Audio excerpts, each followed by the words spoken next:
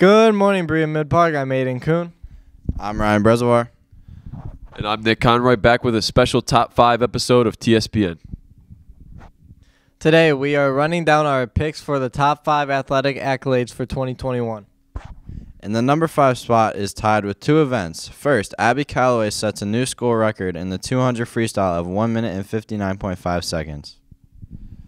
This event tied with Titans football Johnny Selman being named SWC Player of the Week with 13 tackles, 4 sacks, and a forced fumble.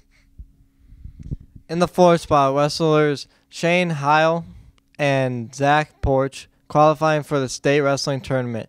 This was Shane's third time qualifying, and Zach placed seventh overall.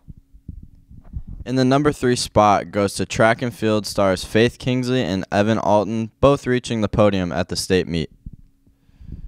Kingsley placed eighth in the state with a long jump and sixth in hurdles, while Alton finished third in the 800 meter.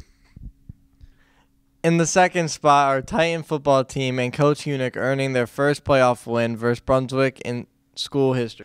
Our top Titans accomplishment, hands down, goes to our baseball team. The team finished top eight in the Division One state tournament.